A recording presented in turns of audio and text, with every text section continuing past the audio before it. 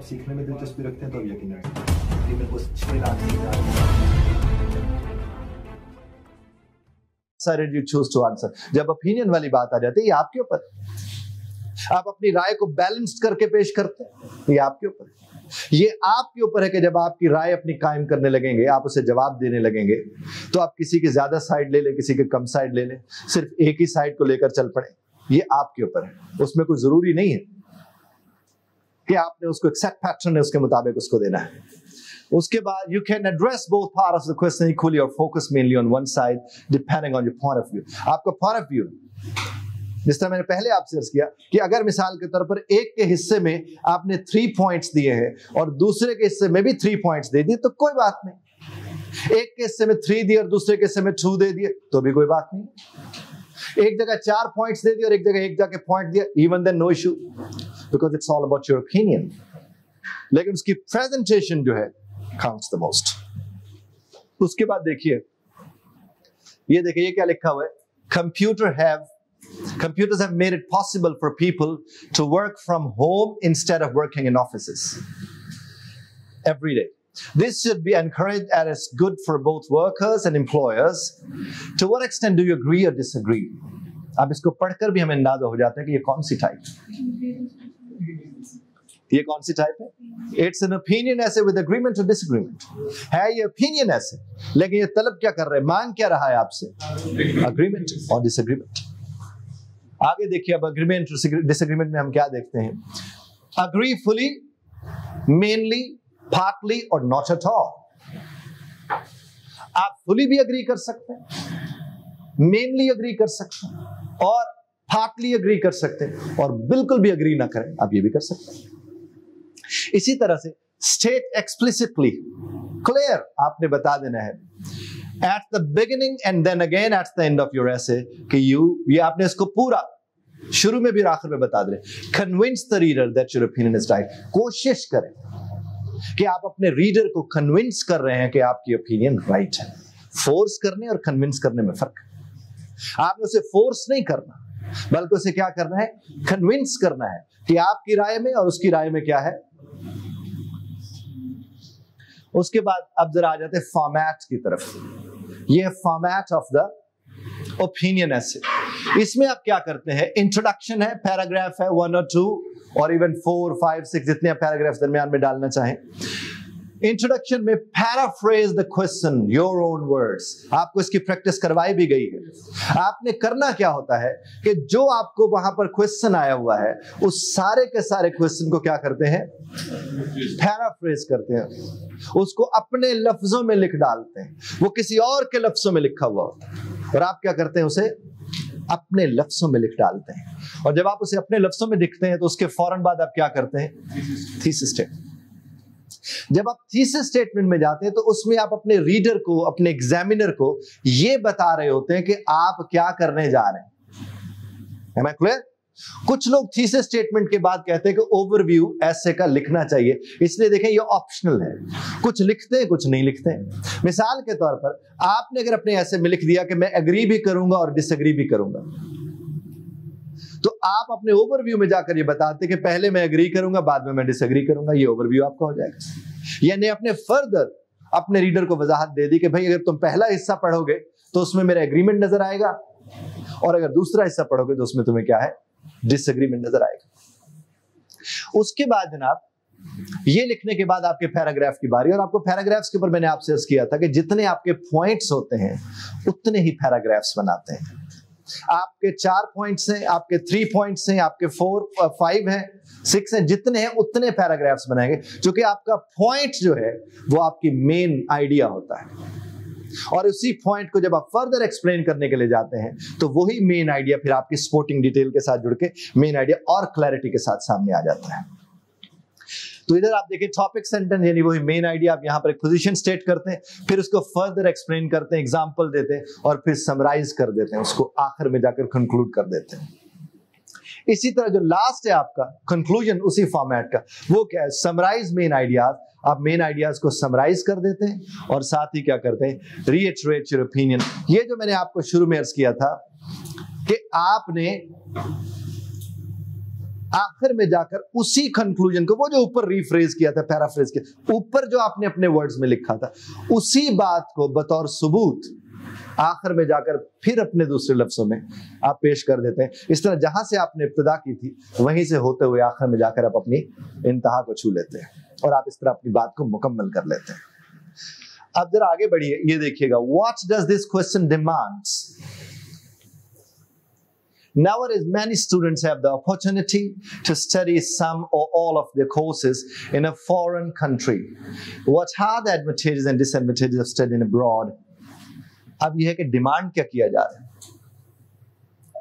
ऐसा कुछ है ये किस टाइप का ऐसे है एडवर्टाइजेज एंड इसमें यही है ना मैं आखिर में नजर आ रहा है इसी तरह से ये देखिए इसमें क्या होता है पॉजिटिव एंड नेगेटिव पर्सपेक्टिव्स को इक्वली आप इसमें पेश करते हैं। बराबर तीन वो बताएँ, तीन ये बताते हैं। Clearly explain why you think something is an और आपने वाजे तौर पर यह बताना होता है कि इसका ये फ़ायदा है और इसका ये नुकसान है। इसके ये ये वाले फवायद हैं और इनके ये ये वाले नुकसान हैं। Positively you make it clear to the fellows उसके बाद देखिए जनाब, अब इसका फॉर्मेट क्या है? तो जरा देखते जाइए। इसका फॉर्मेट जनाब वही paraphrase the question outline your main idea and state your opinion और यहाँ पर फिर एक एडवांटेज बताया, उसकी आगे उसी तरह वजाहत की बेनिफिट्स बताए उसी एडवांटेज के। फिर एग्जांपल दी, फिर उसका रिज़ल्ट दे दिया। इसी तरह दूसरे में गए तो फिर वही डिसएडवांटेज बताया। या डिसएडवांटेज अगर आपने मसलन एक पैराग्राफ बना लिया है और आपके पास थ्री डिसएडवांटेजेस हैं और थ्री एडवांटेजेस हैं तो अब ये आपके ऊपर है कि आप उसके मजीद हर हर एडवर्टाइज का अलहदा पैराग्राफ बनाते जाए, या एक पूरा बड़ा पैराग्राफ बना दें जिसके अंदर सिर्फ़ पेश करेंगे, और एक पूरा पैराग्राफ बना लें जिसके अंदर आप सिर्फ़ एडवर्टाइजेस पेश करेंगे। You can do this example के साथ देखें, यानी जो भी आपका पैरा खत्म होगा, वो रिज़ल्ट यानी कंक्लूड करेगा। अपनी बात को, एक पैरा शुरू हुआ है मेन आइडिया से। मेन आइडिया से होता हुआ जब पैराग्राफ खत्म होगा तो वहाँ कंक्लूजन उसका ज़रूरी है। ताकि वो मुकम्मल बात हो जाए और फिर नई बात शुरू की जा सके। उसके बाद देखिएगा इसमें कंक्लूजन में वही समराइज और मेन आइडियाज़ और फिर आप, आप आखिर में अपनी ओपिनियन इसके ऊपर दे देते हैं। इसमें आप ये ज़रूर कह सकते हैं कि आखिर में जाकर आप ये कह दें कि सारी तहरीर पढ़ने के बाद सारी तहरीर लिखने के बाद सारी बात खुद आप तक पहुँचाने के बाद मैं ये समझता हूँ कि इसके नुकसान इसके फवायद पे भारी हैं। या इसके फ़ायदे, इसके नुकसान पे भारी हैं, वो आउटवे कर देते हैं उसको।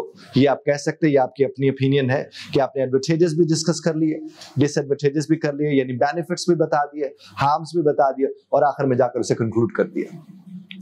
उसके बाद जनाब read and tell the type Overpopulation is a major problem in many urban centers around the world. What problems does this cause, and how can we solve the issue of overpopulation? Yes, you got that? Wonderful, very good. अब हम इसमें जरा ध्यान दे तो ये देखिए this is problem solution essay because it asks you to write problems and measures to solve it अब इसका देखिए क्या है think carefully about how to respond to the question post इसमें बहुत ज़्यादा एहतियात से सोचने की ज़रूरत इसका मतलब ये हरगिज नहीं बाकी जितने आए हैं उसमें आप बेहतियाती बरत सकते हैं लेकिन इसमें आपको एहतियात की ज़रूरत है बिकॉज़ आपने यहाँ पर सोल्यूशन प्रोवाइड करना है address all parts of the task जितने पार्ट्स हैं टास्क के, आपने उनको सबको एड्रेस करना होता है, सबका ख्याल रखना होता है। The first question will refer to the problem और कॉज और पहली बात क्या होगी? प्रॉब्लम होगा कॉज होगी। द सेकंड क्वेश्चन क्या होगा? सोल्यूशन होगा। Limit yourself to answering these question और कोशिश करें इधर उधर आए बाएँ शाए। मत करें don't speech about the bush target को देखें आप ये आपका टारगेट है कि पहले प्रॉब्लम्स बताने और फिर उनके बाद उनका सोल्यूशन बताने introduce any further. You don't introduce any further questions or points of your own. Otherwise, you would stray off a, uh, stray off task.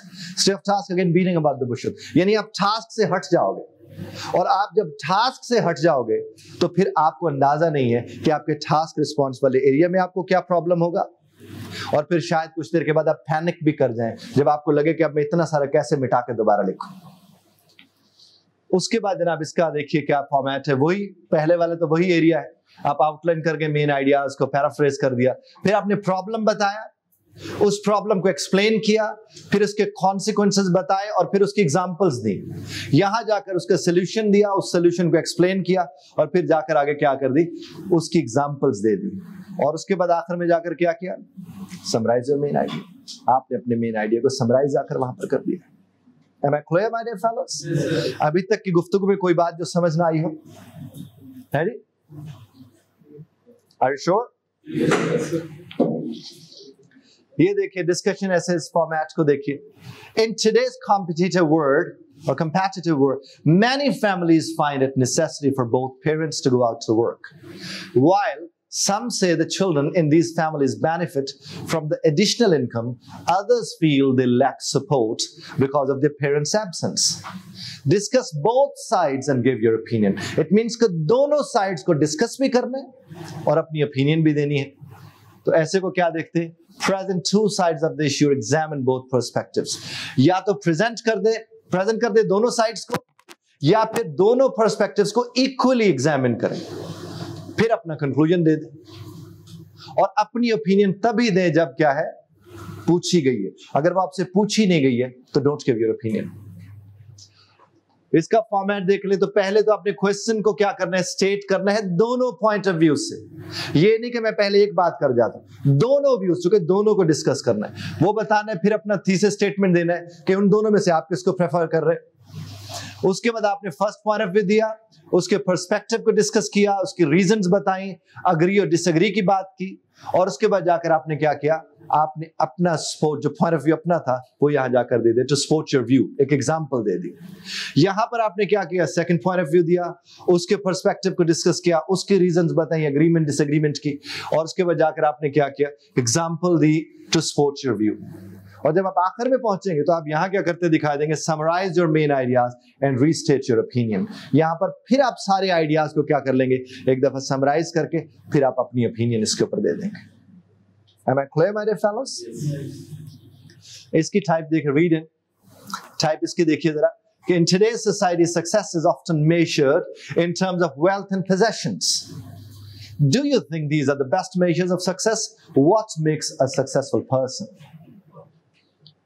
Two part essays ये आपका टू पार्ट एसेस इसमें देखेगा must answer both questions fully यानी ये देखे ये जो है पार्ट ये do you think these are the best measures of success and what makes a successful person both the parts तो आप यहाँ पर क्या करते हैं दोनों हिस्सों को fully otherwise you risk getting a low score for task achievement अगर आप दोनों का ख्याल नहीं रखेंगे तो आप यकीन उसके ऊपर बेहतर राय नहीं कायम कर सकेंगे